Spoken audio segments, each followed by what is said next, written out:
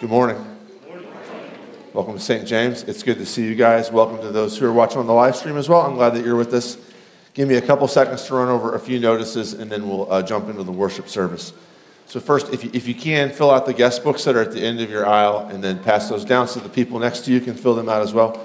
It'd be great to know that you were here with us this morning. Uh, can, I, can, I do, can I make a cup? I don't usually, this is appropriate for not during the worship service. If I can do this now, make a few uh, thank yous. So, uh, Easter, especially the Holy Week, is uh, kind of crazy around here, and there's been a lot of people who've done a bunch of extra work. So, I just wanted to publicly say thank you to a few of them. Uh, and I know a lot of you have done a lot of stuff at a lot of different times, but uh, Cheryl's done a lot of work uh, getting bulletins ready. There's a lot of extra bulletins to do with the extra worship services, and I wanted to say thank you to her. Also, uh, Altar Guild, it's kind of crazy for them because uh, they've got, uh, th- th- these are the people, the team of people that take care of the front of the sanctuary here and the decorations and stuff like the Easter lilies and getting communion ready for us. And um, it's kind of crazy going from uh, Palm Sunday, which is one set of decorations, to um, uh, Maundy, Thursday, which is another set of decorations, to Good Friday, which is different, and then to Easter Sunday. So they're up here a lot this week. And uh, say thank you to Nick and his team. Also, um, Friday night, for those of you who weren't here, uh, we had zero power. One of the transformers went out, and so we had no power at the church, which was, I mean, we were planning on having a Tenebrae service anyway, a service of darkness. And it just worked out. We were like completely in the dark. But um, Altar Guild came up and got candles ready for us so that we could follow along in the bulletins, and we all held candles, and it was kind of nice. A lot of extra work that they did. And then, of course, the musicians. It's a bunch of extra services to uh, prepare for, practice at home for, come together and rehearse for. And they've done a bang up job too, like they always do. Again, Friday night, no power, super flexible. They uh, uh, they made it work, and it was a really, really a beautiful service uh, with the music. And I just wanted to say thank you to them.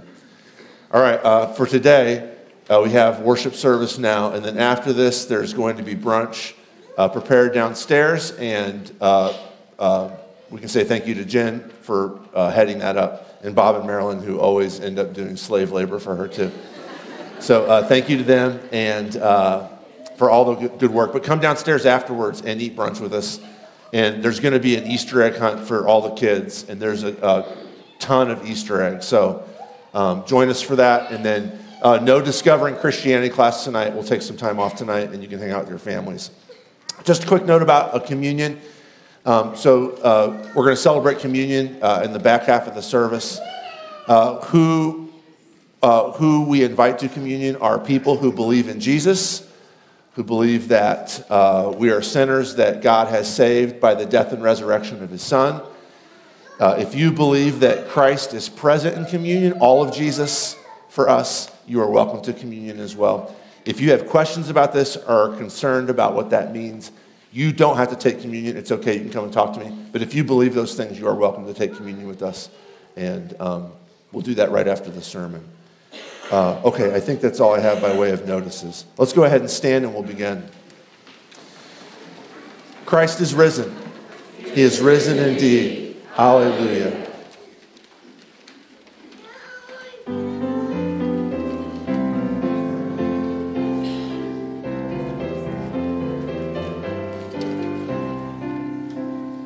Jesus Christ is risen.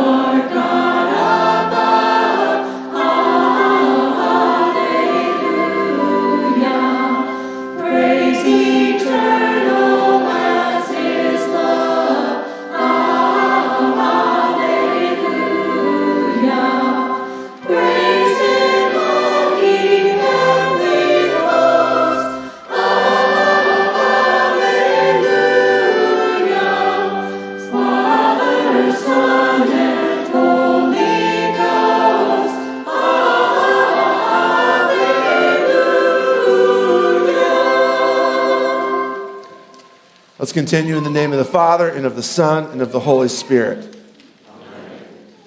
Lord, have mercy upon us. Christ, have mercy upon us. Lord, have mercy upon us. Our help is in the name of the Lord, who made heaven and earth. If you, O Lord, kept a record of sins, O Lord, who could stand? But with you there is forgiveness. Therefore you are feared. Since we're gathered to hear God's word, call upon him in prayer and praise, and receive the body and blood of our Lord Jesus Christ in the fellowship of this altar.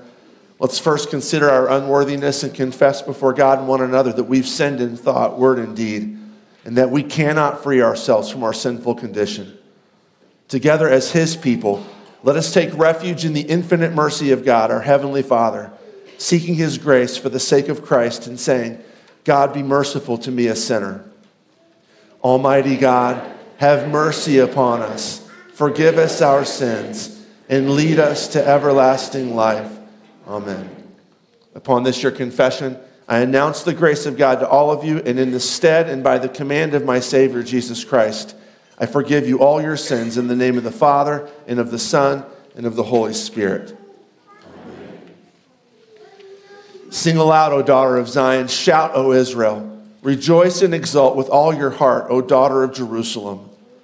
The Lord has taken away the judgments against you. He has cleared away your enemies. The King of Israel, the Lord is in your midst. You shall never again fear evil. On that day it shall be said to Jerusalem, Fear not, O Zion, let not your hands grow weak. The Lord your God is in your midst, a mighty one who will save. He will rejoice over you with gladness. He will quiet you by his love. He will exult over you with loud singing. Sing, O heavens, for the Lord has done it. Shout, O depths of the earth. For the Lord has redeemed Jacob and will be glorified in Israel. You may be seated. Psalm 16. Psalm 16 is a terrific resurrection psalm. It gets quoted a couple times in the New Testament. Once in Acts 2 by Peter, who is saying, Jesus is the one that Psalm 16 is talking about. It couldn't be David. David's tomb is right down the street. But Jesus doesn't have a tomb. God never let his body decompose. Preserve me, O God, for in you I take refuge. I say to the Lord, You are my Lord. I have no good apart from you. As for the saints in the land, they are the excellent ones, in whom is all my delight. The sorrows of those who run after another God shall multiply. Their drink offerings of blood I will not pour out or take their names on my lips. The Lord is my chosen portion and my cup. You hold my lot. The lines have fallen for me in pleasant places. Indeed, I have a beautiful inheritance. I bless the Lord who gives me counsel. In the night also my heart instructs me. I have set the Lord always before me. Because he is at my right hand, I shall not be shaken. Therefore, my heart is glad, and my whole being rejoices. My flesh also dwells secure. For you will not abandon my soul to Sheol, or let your Holy One see corruption. You make known to me the path of life. In your presence there is fullness of joy. At your right hand are pleasures forevermore. Glory be to the Father, and to the Son, and to the Holy Spirit, as it was in the beginning, is now, and will be forever. Amen.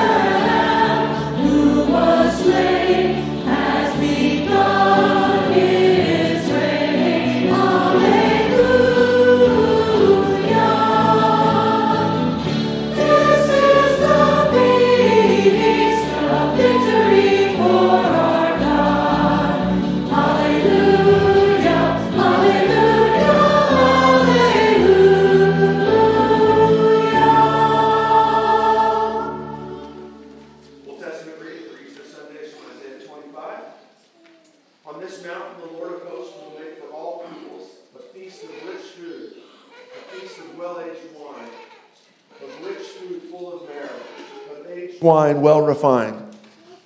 And he will swallow up on this mountain the covering that is cast over all peoples, the veil that's spread over all nations. He will swallow up death forever. And the Lord God will wipe away tears from all faces. And the reproach of his people he will take away from all the earth, for the Lord has spoken. It will be said on that day, Behold, this is our God. We've waited for him that he might save us. This is the Lord. We've waited for him. Let us be glad and rejoice in his salvation. This is the word of the Lord. Thanks be to God. Epistle reading is from 1 Corinthians 15. Paul says this Now I would remind you, brothers, of the gospel I preached to you, which you received, in which you stand, and by which you are being saved, if you hold fast to the word I preached to you, unless you believed in vain. For I delivered to you as of first importance what I also received that Christ died for our sins in accordance with the scriptures, that he was buried, that he was raised on the third day in accordance with the scriptures, and that he appeared to Cephas, then to the twelve. Then he appeared to more than 500 brothers at one time, most of whom are still alive, though some have fallen asleep. Then he appeared to James, then to all the apostles. Last of all, as to one untimely born, he appeared also to me. For I'm the least of the apostles, unworthy to be called an apostle, because I persecuted the church of God. But by the grace of God, I am what I am, and his grace toward me was not in vain. On the contrary, I worked harder than any of them, though it was not I, but the grace of God that's with me. Whether, it was that, whether then it was I or they. So we preached, and so you believed. This is the word of the Lord. Thanks be to God. Please stand for the gospel reading. The Holy Gospel according to St. Mark, chapter 16. Glory to you, O Lord. When the Sabbath was past, Mary Magdalene and Mary, the mother of James and Salome, brought spices so that they might go and anoint him. Very early on the first day of the week, when the sun had risen, they went to the tomb. And they were saying to one another, who will roll away the stone for us from the entrance of the tomb? And looking up, they saw that the stone had been rolled back. It was very large. And entering the tomb, they saw a young man sitting on the right side, dressed in a white robe, and they were alarmed. And he said to them, Do not be alarmed. You seek Jesus of Nazareth, who was crucified. He has risen, he is not here. See the place where they laid him. But go, tell his disciples and Peter that he's going before you to Galilee. There you will see him just as he told you. And they went out and fled from the, from the tomb, for trembling and astonishment had seized them. And they said nothing to anyone, for they were afraid. This is the gospel of the Lord. Praise to you, O Christ. Let's confess our faith together with the Apostles' Creed. I believe in God, the Father Almighty, maker of heaven and earth, and in Jesus Christ, his only Son, our Lord who was conceived by the Holy Spirit, born of the Virgin Mary, suffered under Pontius Pilate, was crucified, died, and was buried. He descended into hell. The third day he rose again from the dead. He ascended into heaven and sits at the right hand of God the Father Almighty. From thence he will come to judge the living and the dead. I believe in the Holy Spirit, the holy Christian church, the communion of saints the forgiveness of sins, the resurrection of the body, and the life everlasting. Amen. Please stay standing for the sermon hymn.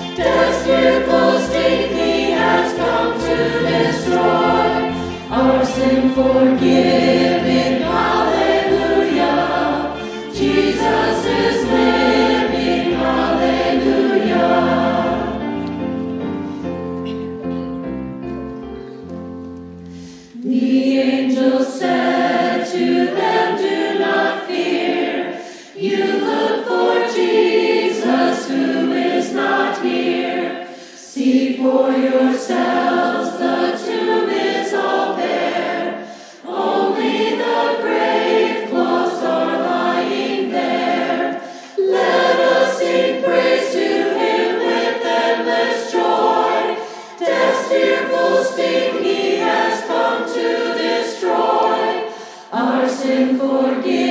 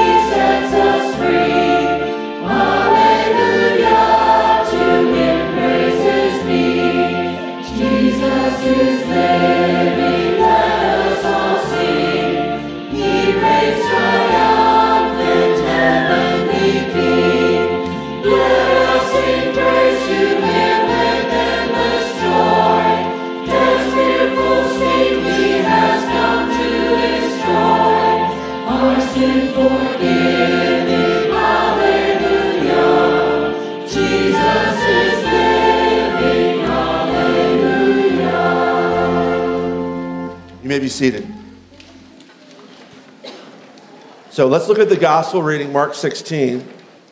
And let me talk about that for just a few minutes this morning. This, of course, is, uh, most of you know this, this is the thing that separates Christianity from every other religion and worldview in the entire world. It's the only system, it's the only value system that doesn't end in death. Every other system does. Every Eastern religion acknowledges death, in fact, embraces it. Western materialism, that's all that there is, is death. Make money, have a house, you live a life, and then you pass it on to your people behind you, and all that's left is, are, are memories. Everything that we value lives, we value it, it dies, it goes away. It could be your favorite sports team, it could be your favorite musician, it could be your favorite Roth IRA account. It's there, it goes, it's gone, and it's a footnote to history. Jesus is the same way. He's a footnote to history, except for the resurrection. He's just a line in Josephus, unless he rises from the dead. And if he rises from the dead, and that means that death doesn't beat certain things, namely him, then this is the most important thing in the entire universe. And what I don't want us to do is what the temptation for all of us to do is, is to, I'm talking to Christians now, those of you who are Christians, is to, to celebrate the resurrection and then to step away and go back to life as it is on Monday morning, like normal, where the gods of this world still reign supreme, where pleasure and money and power are still the goals that we're all to seek. As if the God of the universe didn't become a human being and die and rise from the dead and change everything completely upside down. So, this is, we're sitting inside of a sacred space, and we're with a, many of you are Christians, not all of you I know. The temptation is to, well, let's do the Christian thing here, and then we'll go home and we'll, you know, eat food with the family and maybe watch the baseball game, and then go about life as normal. And I just want to try to convince you this morning from Mark 16 that there is no life as normal except for the resurrection. That is the normal. Everything else is fake.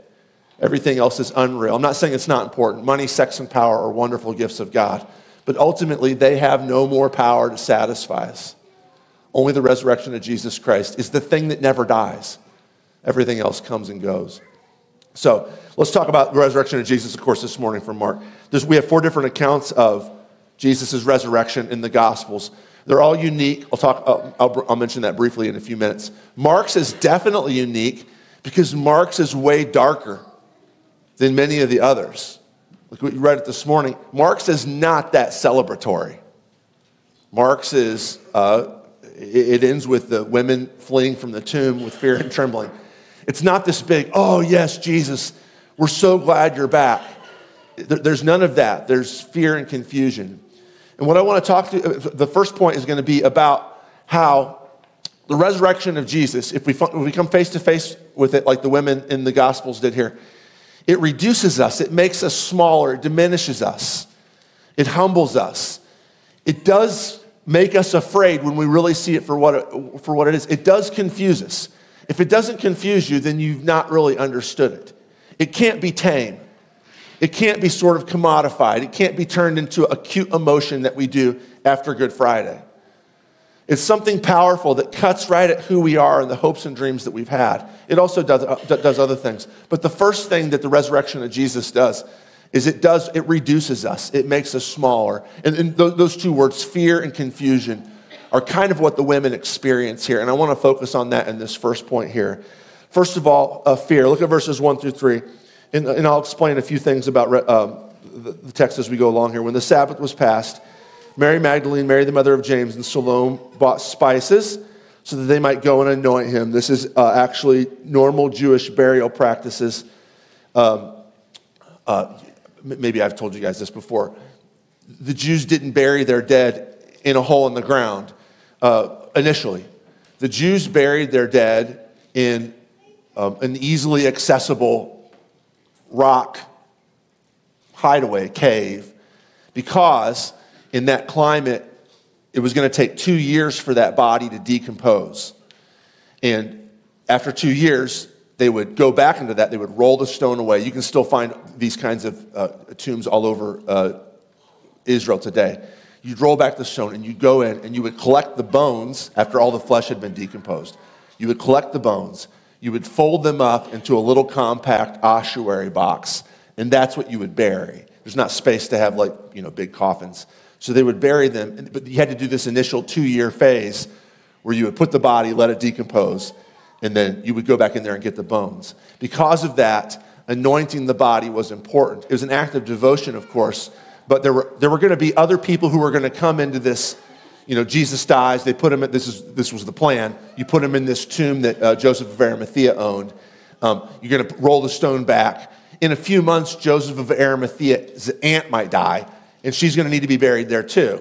And so you're going to have to go back in there, and if it's a couple months on and there's a dead body in there, it's not going to be very pleasant. So you would go and you would anoint him as a courtesy to the people who are going to have to bring the next dead body in there to lay it in there. So that's what they're going to do. Um, it's going to be rough even now in this climate two days on, but they didn't have any choice because he died on Friday night going right into the Sabbath, and they weren't allowed to go and buy spices or go to the tomb on the Sabbath. So they're waiting until very first thing Sunday morning, which is the first time they can get there.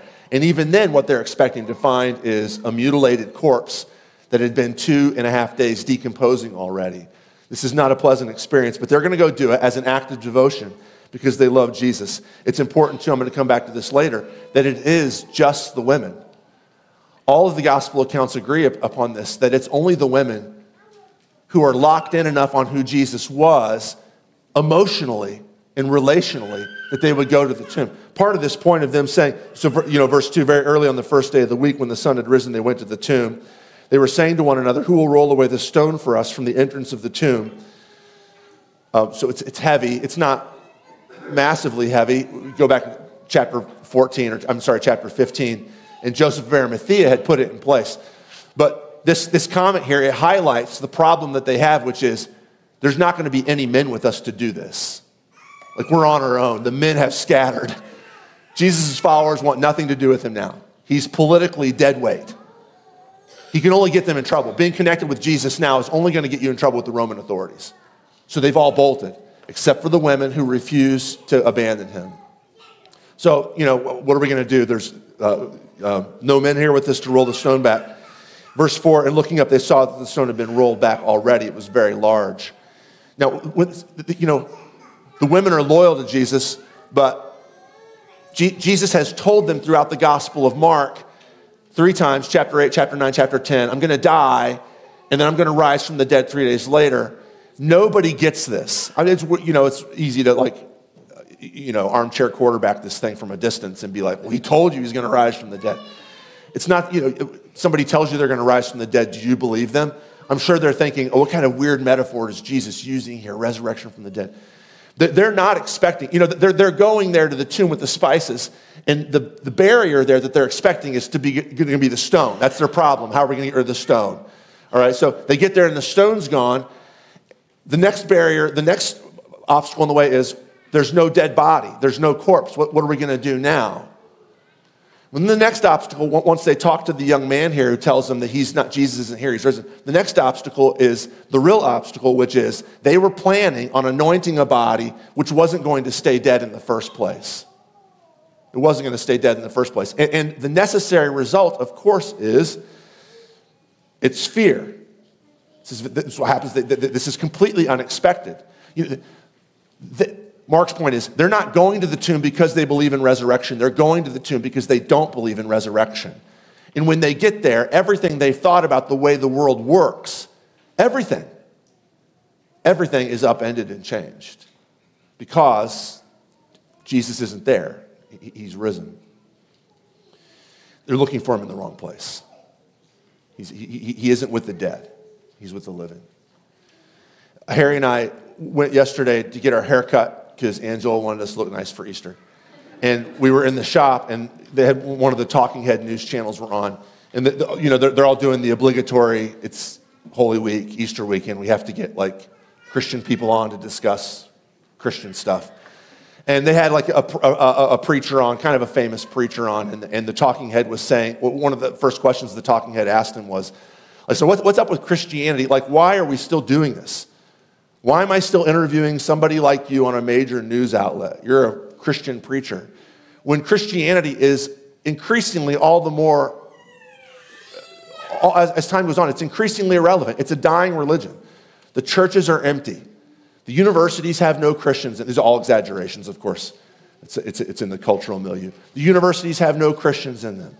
Christianity doesn't influence the political process anymore. We're completely secular at this point. Like, what, what, what, why am I even talking to you?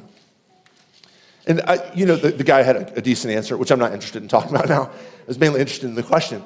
Because it's honestly a question, right? I mean, this confuses, this is really kind of troubles a lot of Christians, is like, we're so irrelevant, we're so out of touch. Why isn't Jesus in the university? Why isn't Jesus on Wall Street? Why isn't Jesus in the political places of power? Well, you're not going to find him in the tombs. He's not in the place where there's death. All of these systems are devoted to death. They're devoted to accruing power or accruing pleasure or accruing money. And you've got to hold on to it while it's there because you're going to die. And Jesus isn't in the tombs, he's not in the places of death. And it's completely unexpected. And the women don't expect it. And so it freaks them out. And the guy says to him in verse 5, he says, uh, um, enter, so verse 5, entering the tomb, they saw a young man sitting on the right side dressed in a white robe, and they're alarmed. This scares them. And the guy says to them in verse 6 Don't be alarmed. You seek Jesus of Nazareth, who was crucified. He's risen. He's not here. See the place where they laid him. But, verse 8, they are still alarmed. It doesn't change the fact that what's happened to them is completely unexpected. They went out and fled from the tomb, for trembling and astonishment had seized them, and they said nothing to anyone, for they were afraid. That's the last word of the resurrection story in Mark. They fled because they were afraid. See, you know, what they expected and what the disciples expected was, to, was Jesus to be victorious. Victorious. He was going to go to Jerusalem, he's going to raise the army. You know, Herod was going to raise up a small Jewish force. They were going to repel them. The larger Roman force from Caesarea was going to come up into Jerusalem and attack Jerusalem. God was going to be with Jesus and with his army. They were going to repel the Jewish force. They were going to pull off a Maccabee situation from the 160s. And they were going to establish Judea as a free kingdom. Jesus would be the Messiah. He would sit on the throne of David as a guru Messiah. He would you know, rule politically and militarily. He would dispense valuable wisdom. And then they would be happy and free until they all died later on. But for a while, they would be free. That's what they expected. The women expected it, the men expected it the Garden of Gethsemane when it turns out that Jesus is not interested in raising an army, but is telling them to put away their swords. They all take off fleeing then because, again, fear. The same thing is happening to them now. And they can't put it together, right? The women can't put it together here at the tomb. They can, you know, they can understand victory, right? Political victory. They can understand defeat. They knew what Jesus crucified meant. It meant that we thought he was the Messiah, but he's not really the Messiah. So let's just go on about our business. But what they couldn't do was put the two of these things together. They couldn't put the two of these things together. And uh, you and I are in the same, again, I'm talking to Christians right now. You and I are in the same boat. Like, what is, is Christianity a religion of defeat or is it a religion of victory? Well, here on Easter Sunday, we get in here kind of in our private world, shut the doors, and like, yes, victory. Jesus Christ has risen from the dead. But then you walk out the doors, and in a few minutes, you're going to think, well, this what does this matter? Like, no politicians care about us. None of my favorite movie stars or musicians care about us. It's all exaggerations, right? Of course. Nobody in the universities care about us. And we don't know how to put these two things together. Like, Jesus is the most important thing of our lives. And if somebody comes up to me and says, I'm, at, you know, at a work party or something, you know, with, with Angela, well, not now, back when she was at the newspaper, and somebody comes hey, what do you do for a living? Like, I kind of have to choke down the words, I'm a Lutheran pastor. Because it's like, why would somebody, it's a little bit shameful, right? You know, like, it's kind of a lame job. So you really don't do anything except take money from people to show up once a week and make them listen to you talk. How does that go to, with Jesus rules the world? He's the king of the universe. Now he is the Lord of all things. Well, it's hard for us to put these things together. And what, what, what frequently comes out of that is me at Angela's Christmas party afraid. I, I, don't know how, I don't know how this works. I don't know how the victory and the shame go together. I don't know how the cross and the empty tomb are both there. I mean, one method we can do is we can say, well, there's the cross. Now it's Easter, we got the empty tomb, and so we abandon the cross. But that's not going to work because Jesus has called us to take up his cross and follow him. Paul has promised us in 2 Corinthians that we will bear about in our bodies the death of our Lord Jesus, so that we can also bear witness in our bodies to his resurrection. Those two things will always go together. And for Christians, there's a little bit of validation here that fear, you should know this, fear is going to be a part of the game following the resurrected Christ, standing at the door of the empty tomb, is going to involve this sense of like, I don't know what's going on here, but it's freaking me out. And if we bounce back and forth to try and make sense of them between this private victory and public shame, we aren't going to get it. It's okay to just embrace that they're both there. It's okay to, to say, I am a, I'm a believing Christian. I believe that Jesus, because he rose from the dead, is Lord of the universe in public, and to be freaked out by it. Because if the people that you're talking to understand what you're saying, they too will be freaked out. It cannot be tamed. This fear is a part of it, but it does involve a reduction. It does involve me telling people at Angela's work party that I do something that's kind of embarrassing. I'm a Lutheran pastor. Maybe 100 years ago, there was sort of like a little prestige in being a minister of the gospel. Not anymore. It will involve you over the, uh, you, you, know, uh, in, in the, the, the, the office cafeteria having to say to somebody at some time, I'm a, I'm a Christian, it's the most important thing in my life. And you will feel fear at that, and it's okay. It's, a part, it's built into the whole nature of the resurrection. It stirs up fear. They're scared because this world makes no sense. It also makes no sense. This is the second part is their confusion, right?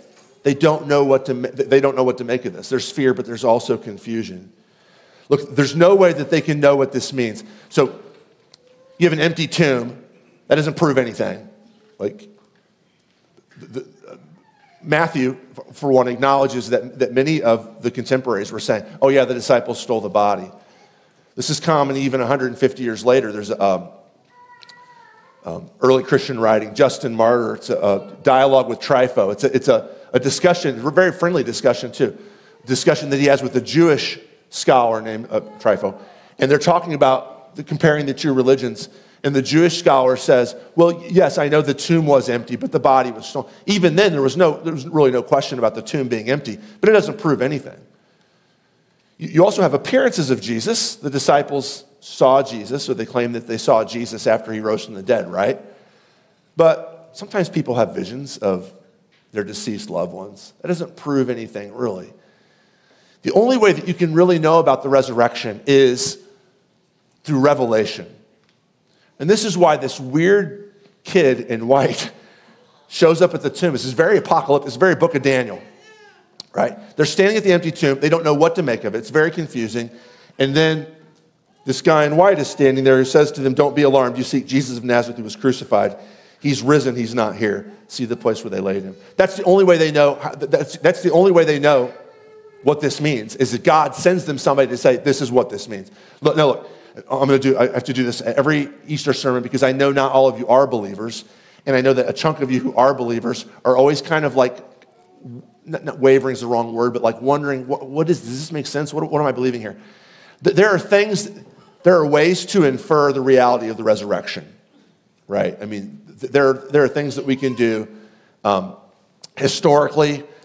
It, doesn't make any sense that these followers of Jesus would make up a lie that they saw Jesus and talked to him after he was killed for no reason at all. It doesn't, you know, maybe if it got them political power, but it didn't. They didn't want anything to do with political power.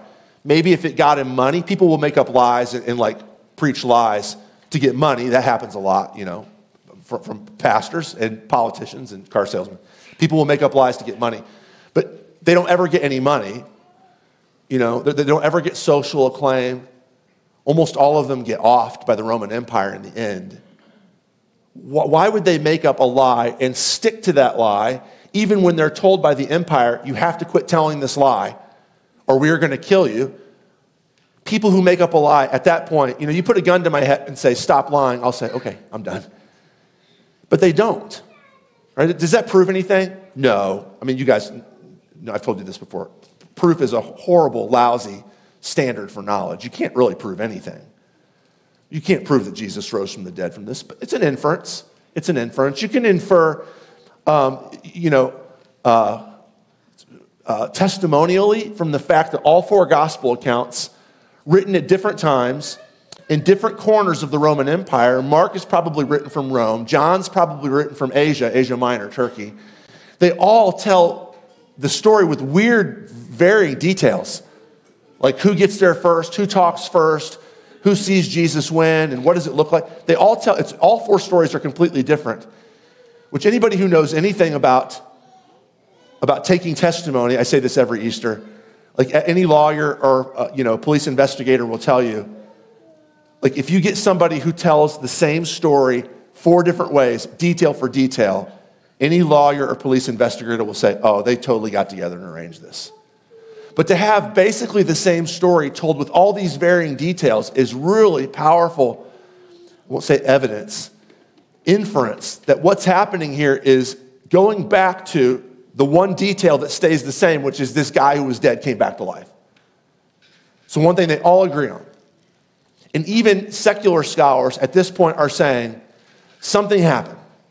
We don't want to say that Jesus really rose from the dead because that would mean we would have to change the way we live. But clearly, historically, these guys thought that they saw the resurrected Jesus and truly believed that they had seen him and talked to him and touched him. So much so that they told stories about this for generations afterwards, wrote the stories down, and died believing this. You can infer this too uh, contextually. I had mentioned earlier that the only people that show up in Mark's gospel, actually, the, uh, who's the main characters in the story, Mark 1 through 8? The only characters really are the women and then the guy in the, the guy in white. Jesus is not in the story. That's interesting, isn't it? The only characters in the story are women. W- women were not considered to be, again, I, I, think last year or two years ago, I gave you these quotes from Josephus, which I don't have written down this year, but they went something along the lines of, uh, you know, Josephus, Josephus was the Jewish historian who lived just a little bit after Jesus' time. And, and Josephus said, you, you should not take the witness of women in court. The witness of women is not allowed in court because women are silly and they're prone to lie. These two things. They can't be trusted. Well, that, that was, uh, um, this is not me talking, that was uh, Josephus, that was, the, that was the legal system of the Jews. Also, in the Greco Roman world, women were not allowed to testi- testify in court because they were inherently untrustworthy. Why would the gospel writers make the women the main witnesses to the resurrection of Jesus? This would not have flown in the ancient world. This is definitely sticking their necks out. The only reason why they would have done that is if it actually happened. I'll come back to a payout of this in just a few minutes. So, really, no reason why they would have told the story in this way unless it was what, the way it actually happened. So, these are all inferences, right? It doesn't prove anything, but definitely infers it. The only way to truly know it is if God says, This is what it means. This is my beloved Son in whom I'm well pleased empty tomb, raised body.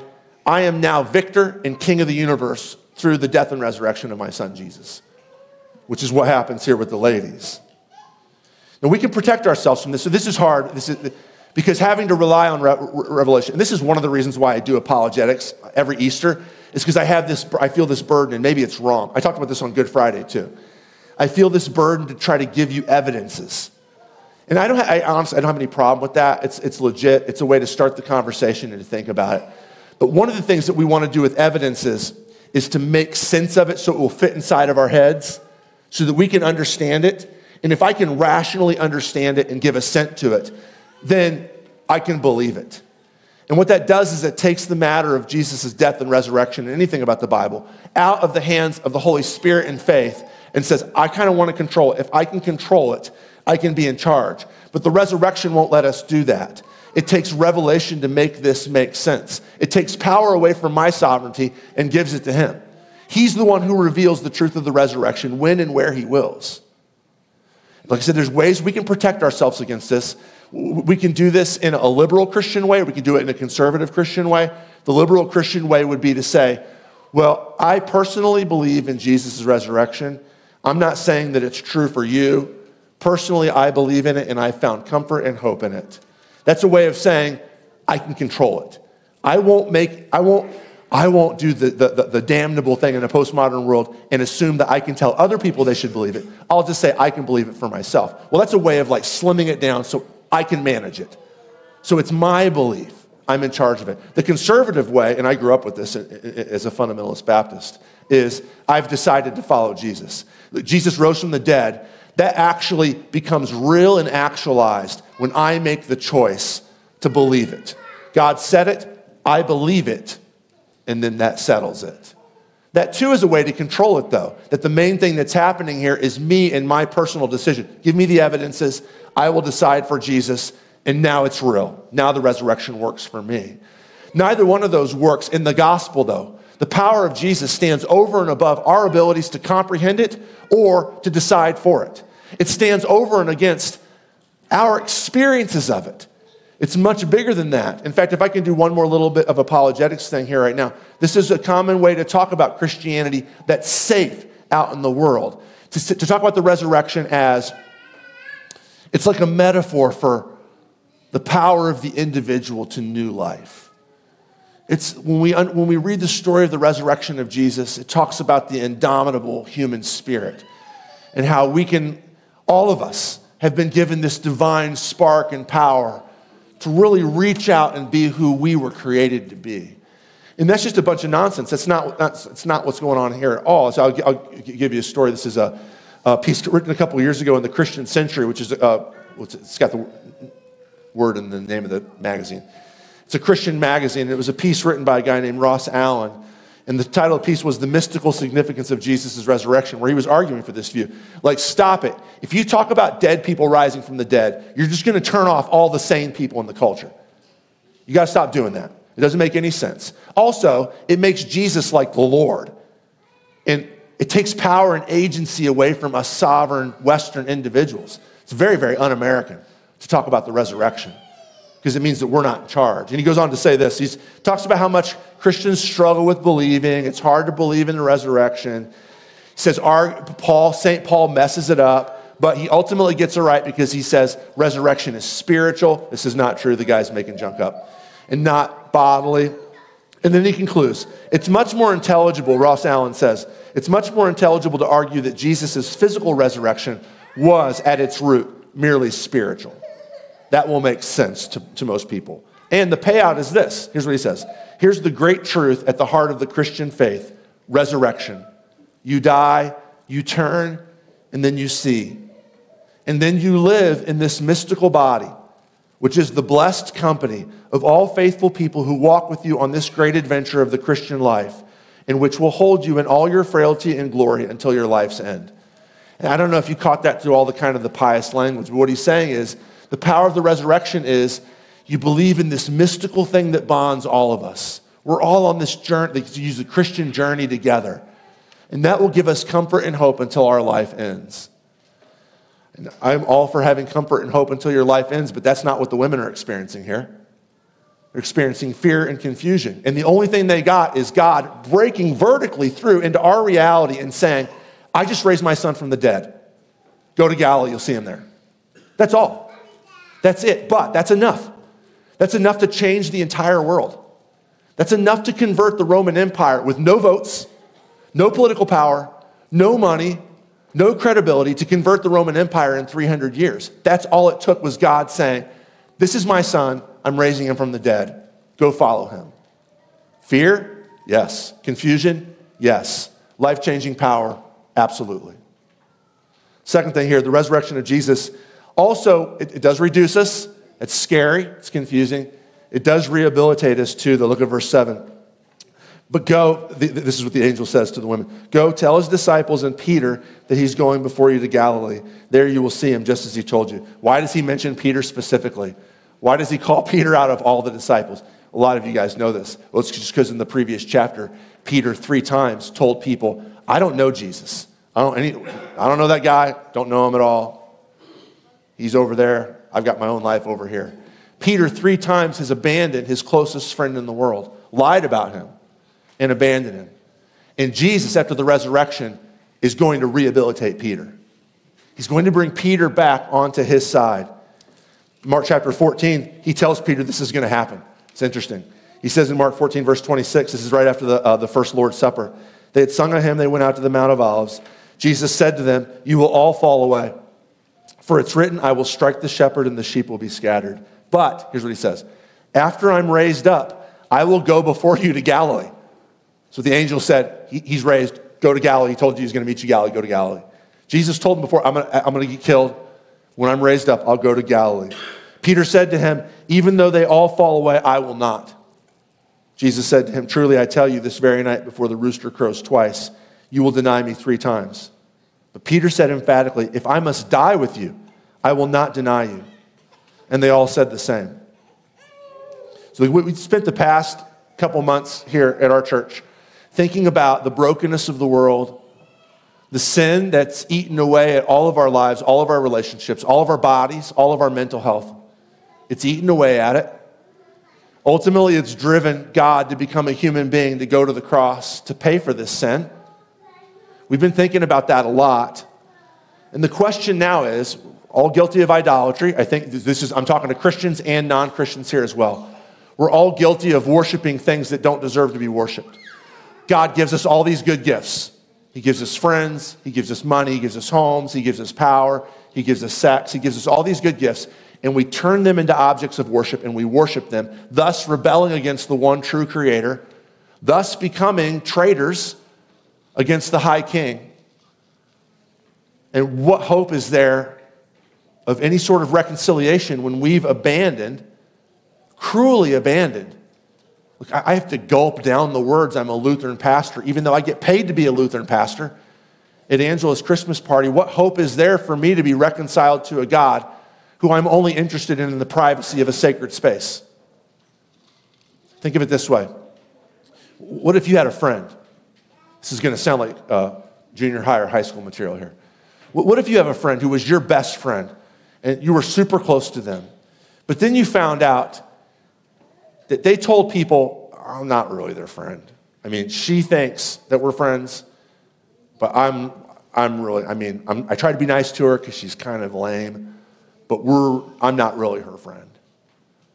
What if you found out that when everybody in the whole workplace or the whole school or the whole neighborhood was against you for some reason that you didn't deserve, that this one person that was, you thought your best friend in the world told people, don't come to me, I don't even hardly know him.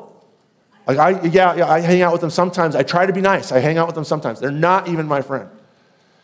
Would you be able to forgive that person who did that to you? Now, I, I, this is a real question for, for many of you, if not most of you. This has happened to you at some point in your life. Would you be able to forgive that person? And the, the, the follow up question here, is, which is even more to the point, is would you be able to eventually embrace that person? Or would you take sweet delight in holding that against them your whole life? Would you train your soul to be bitter against them because the bitterness, at least initially, tasted good? The Schadenfreude, the fantasies of them failing, and you being able to say, Yeah, they abandoned me, I'm glad this is that those fantasies running through, playing in your mind deliciously before they eventually just ate away at your, ate away at your soul and dehumanized you? Or would you be able to completely welcome them back, completely embrace them again? The, the, the short answer is no, it's not possible. You might be able to do the Christian thing, I made it sound sarcastic. It's not meant to be, and forgive them, but you would never, ever, ever again be able to allow them into your life the way that they were before. But that's what Jesus is going to do with Peter. Why? I mean, part of it is God, so he's got all kinds of power to do that kind of stuff. But the, the main answer is, is because resurrection changes everything. When Jesus rises from the dead, all the sins of the world are gone. When Jesus rises from the dead, all the ways that his followers have abandoned him are no longer important because that was a part of the story to get here to this moment where he's alive and the tomb is empty. He's going to rehabilitate him, he's going to rehabilitate us. Romans 4:25 Paul says this, Jesus was delivered up for our sins, but raised again for our justification. Our justification, our being right with God, our being reunited and reconciled with God, our being rehabilitated in God's family happens at the resurrection. Our justification happens at the resurrection. There is no sin that you have ever, ever committed that puts you outside the bounds. There's no denial of Jesus that you have ever done that makes you unable to be his best friend once more because of the resurrection. Because if he's risen from the dead, it changes absolutely everything, including Peter. You don't get this story completely here in Mark. You can look at the Gospel of John, chapter 21, if you want more details, because Mark ends kind of abruptly. But Peter is going to be reconciled. Jesus is determined to win him back as his friend and as his lover. The final thing that the resurrection Jesus does is it doesn't just rehabilitate us, but it also reinstates us. I'll give you three examples, two from the story. First of all, Peter isn't just rehabilitated and welcomed back into Jesus' love, he's also reinstated for mission. He's also given the job that Jesus had been training him for, which he had he proven completely unable to do. Jesus is saying, You're back, you're my brother, and now I want you to keep on doing what I've been training you. I'm putting you back on mission. This whole going before them in the Galilee thing from verse 7 hints at this. Mark's not going into too many details here because he's really focusing on the darkness of this. He's focusing on the shock and on the fear and on the confusion. But everybody who knows the other gospels knows what happens in Galilee. They are put on the Great Commission.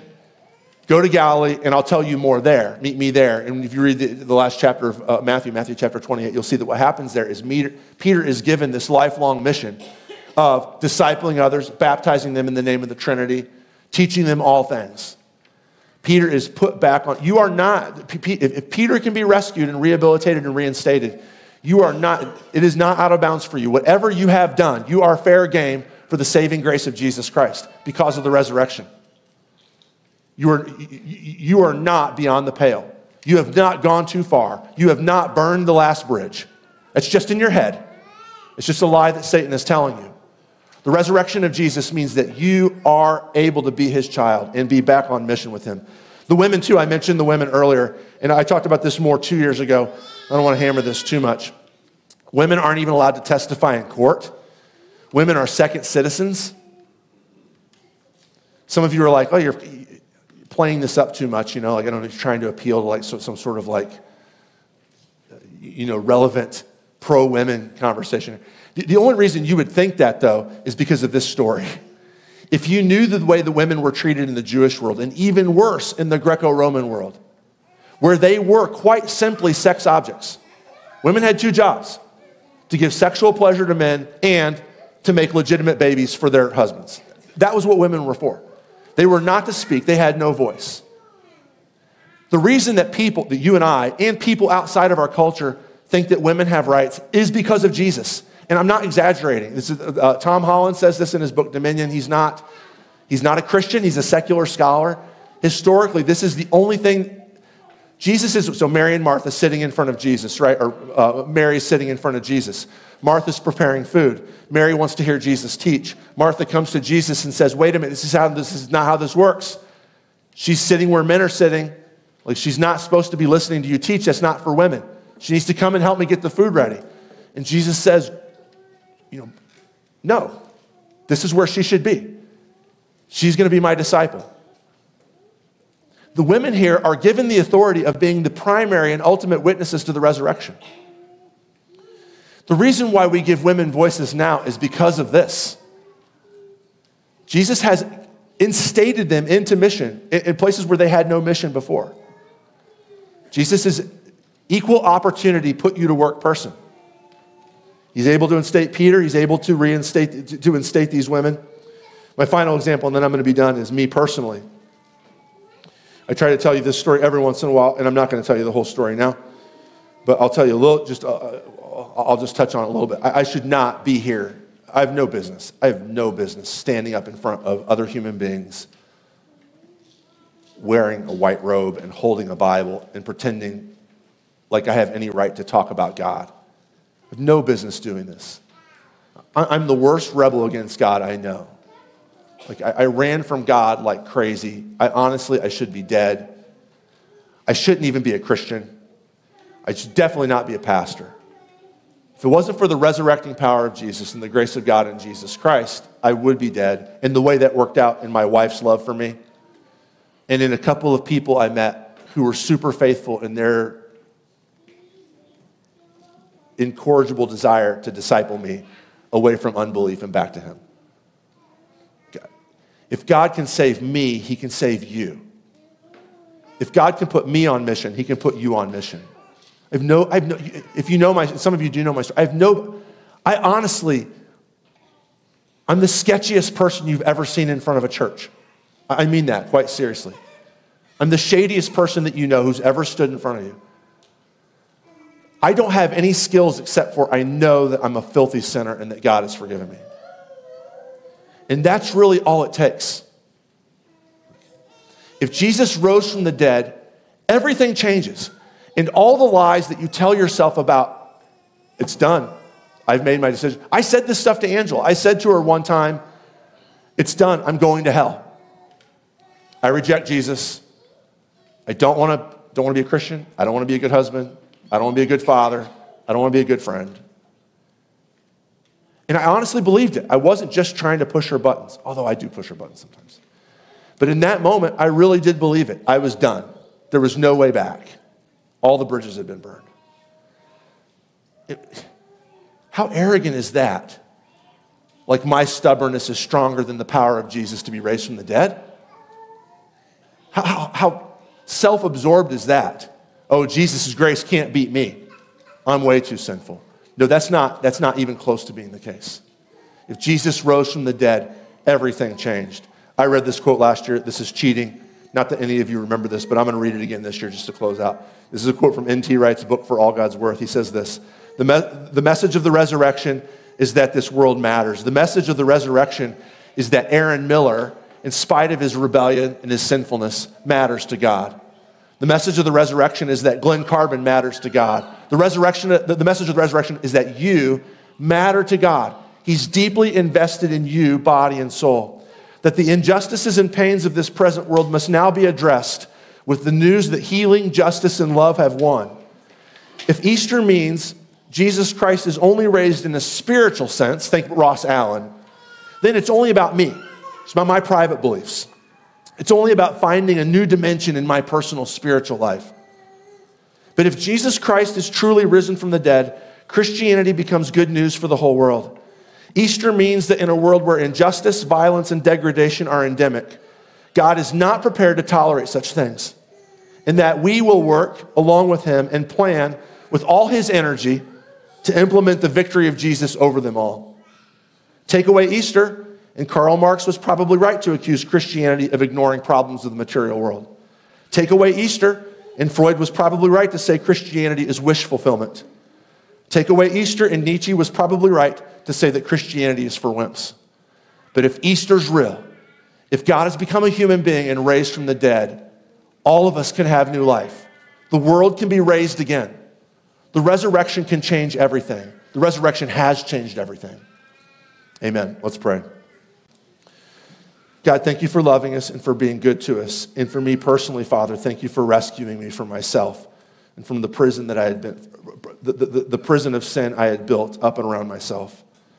Lord, I pray now that as we come to your rail, that you would give yourself to us through your body and son, the body and son and soul of your, uh, the, the body and blood and soul of your son, Jesus Christ, in such a way that we know you and know your love for us and are convinced once again of the power of his death and the reality of his resurrection.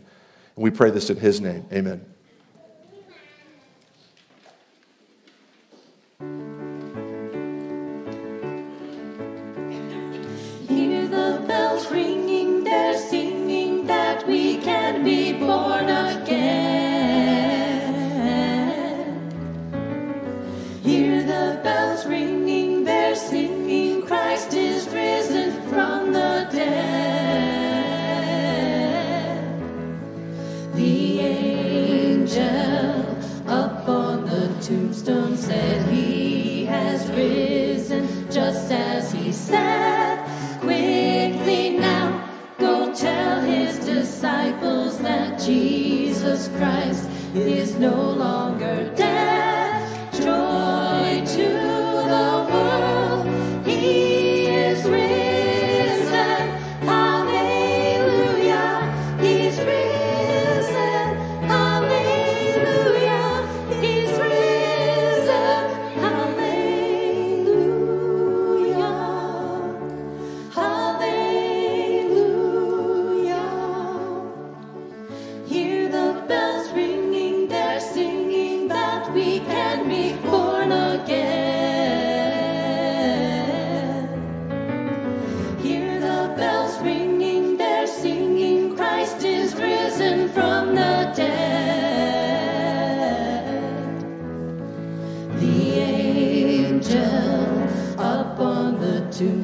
Said he has risen just as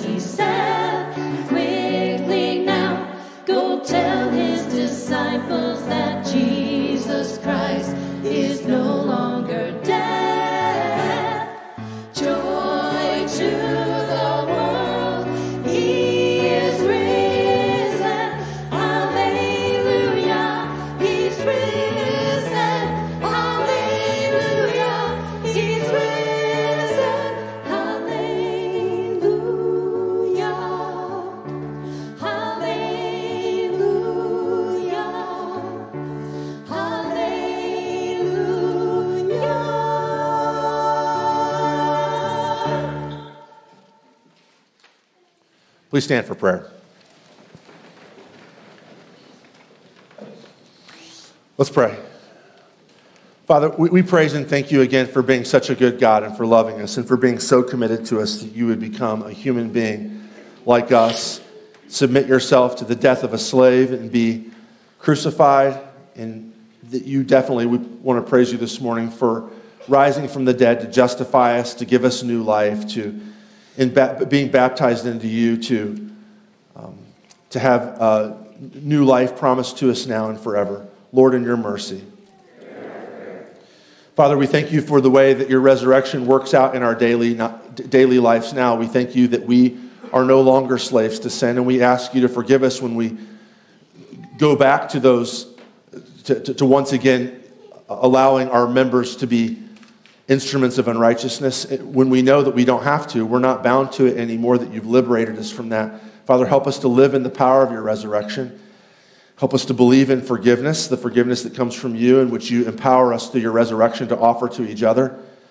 In reconciliation and community, in justice and in love and in mercy, in all these things which don't exist outside of the resurrection of your Son.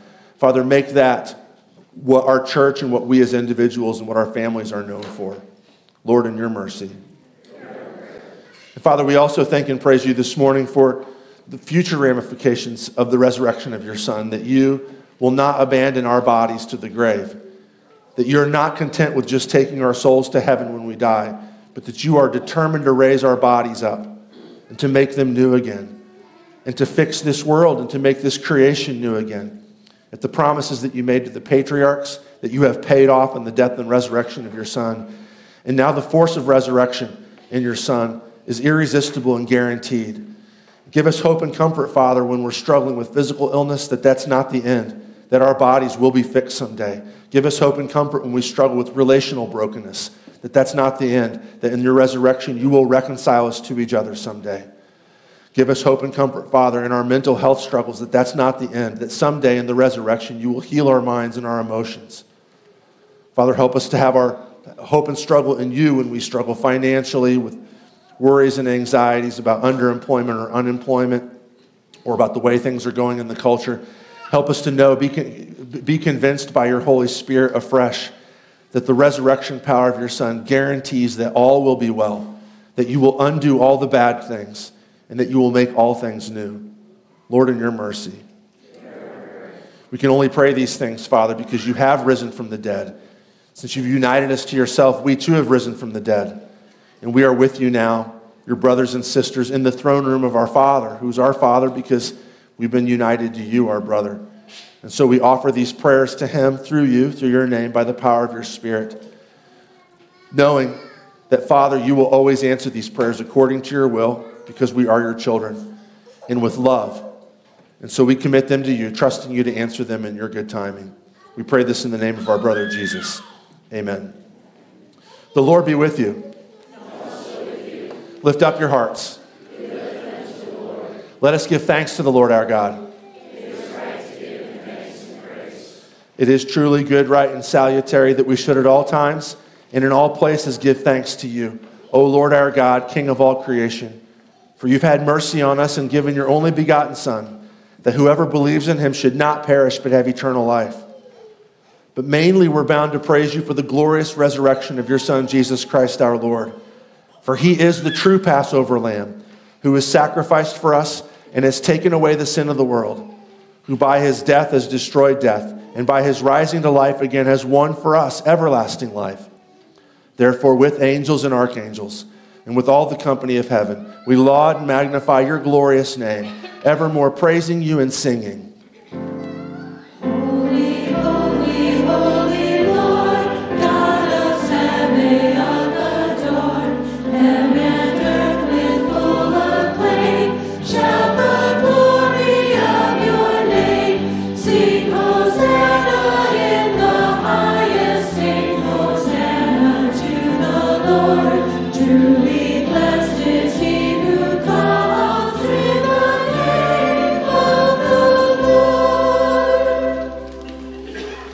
Now let's pray together in Jesus' name, the prayer that he taught us. Our Father, who art in heaven, hallowed be thy name. Thy kingdom come, thy will be done, on earth as it is in heaven. Give us this day our daily bread, and forgive us our trespasses as we forgive those who trespass against us. And lead us not into temptation, but deliver us from evil. For thine is the kingdom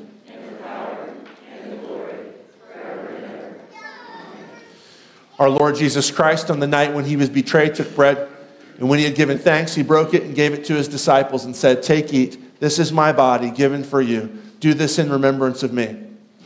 In the same way, he also took the cup after supper, and when he had given thanks, he gave it to them, saying, Drink of it, all of you. This cup is the new covenant in my blood, shed for you for the forgiveness of all your sins. Do this as often as you drink it in remembrance of me. The peace of the Lord be with you always.